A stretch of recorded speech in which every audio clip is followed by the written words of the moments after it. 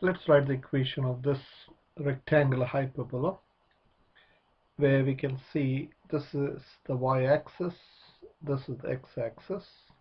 You got the vertical asymptote of x equal to 4 x equal to 4 is the vertical asymptote.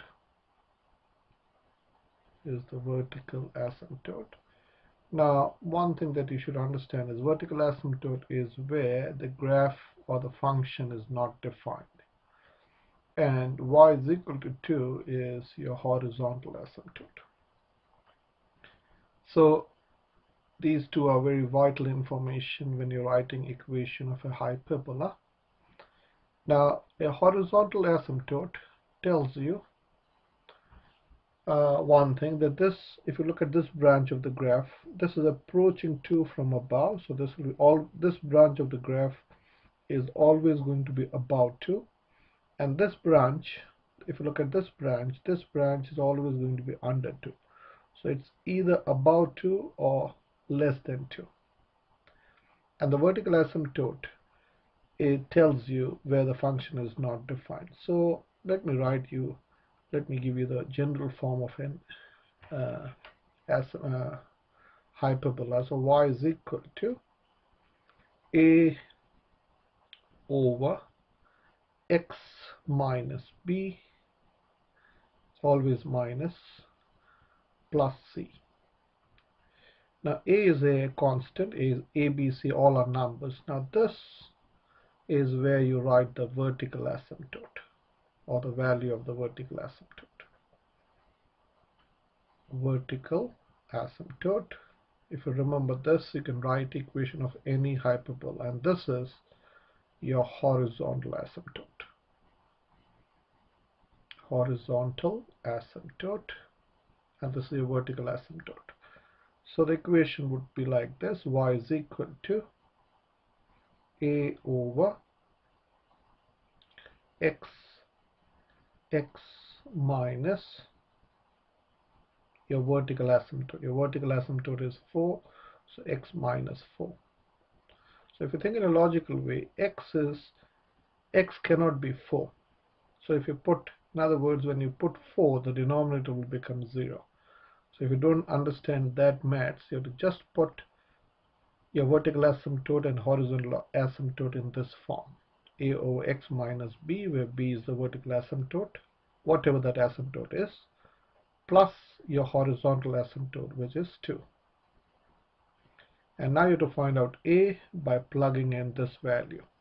So well, we know when x is, this point tells me what is this uh, point telling me when x is phi, when x is 5 y is equal to negative 1 so I'm going to plug in plug this value in this equation. So negative 1 is equal to a over 5 minus 4 is going to be 1 plus 2 so this is a simple linear equation. So negative 1 is equal to a plus 2. Now taking away 2 from both sides, this implies a has to be negative 3. And that's all. And of course we need to confirm whether the equation is right. So the equation would look like this. So let me write it again here. So y is equal to negative 3 or minus 3 over x minus 4 plus 2 just like that and we need to confirm okay so this is my graph uh, sorry graphic calculator go to graph and type in the equation minus 3 divided by bracket x minus 4 close bracket plus 2 okay let me make it standard 10 by 10 and this is what we want to confirm. We want to confirm when x is when x is 5 y should be negative 1 so how will we do that? Gsolve uh, y calc when x is 5 x is negative 1 okay. And uh, we can confirm when x is 4 it'll be error. Okay so if you go y calc when x is 4 it's an error. Okay so that means when x is 4 it is undefined and that's that's the vertical asymptote. And let me also explain when x is approaching if you go if you if x is say negative uh, negative 10 y will be about 10 sorry about 2 sorry. So if you go y calc when x is say minus minus 8 is slightly 2.25 okay so let me show you one more. So let's go up to say from minus 50 to plus 50 scale of phi. So the graph is like this. Can you see? It also tells you the vertical asymptote here. So let me show you y calc when x is minus 35 it'll be about 2 2.07 so this is never going to be 2 it will be about 2 when x is negative to this side and it will be on this branch it will always be under 2 so let's if you go say if you let's go let me explain y calc when x is say 10 it'll be less than 2 1.5 so always going to be less than 2 and as you approach infinity it will be uh, 1.99 so let me show you one more thing. Just all y calc. Let me make it 25 can you say it's 1.85 so as x approaches positive infinity this will be slightly less than 2 and x, as x approaches negative infinity it will be about 2 okay. So one more equation.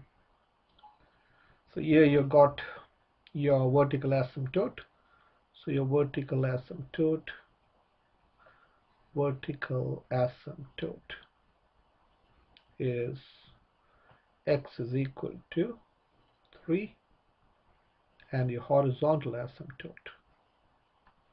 Horizontal asymptote is what? Y is equal to 1 so we can directly write the equation y is equal to a over x minus the vertical asymptote. So minus 3 plus 1 just like that. And we have got this point when x is 4 when x is 4 y is equal to 3 y is equal to 3 so let's put that here. So this implies y is 3 so 3 is equal to a over 4 minus 3 is again 1 plus 1 so 3 is equal to a plus 1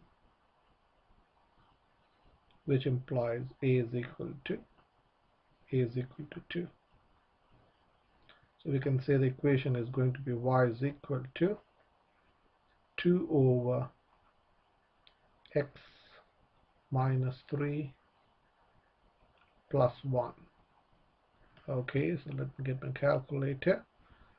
So let me delete let me make the scale 10 by 10 and then delete this and type in the equation 2 divided by x minus 3 close the bracket uh, plus 1 uh, plus yeah plus 1 that's right.